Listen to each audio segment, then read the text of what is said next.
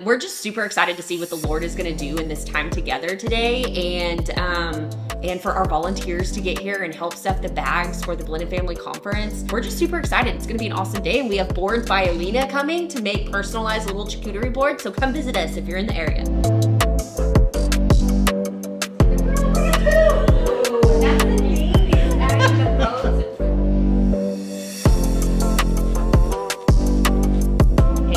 We're gonna head on over to our friends at Victory Church next door and invite them to come over for North Texas Giving Day. Come with us. Hey, hey, we just wanted to Guys, we just want to say thank you so much for supporting Blended Kingdom families on North Texas Giving Day. Yes, you guys, your generosity, we were just so blown away and we're so excited that this is going to help more blended families and just help us to equip and support them. Thank you so much. Be blessed in all that you do.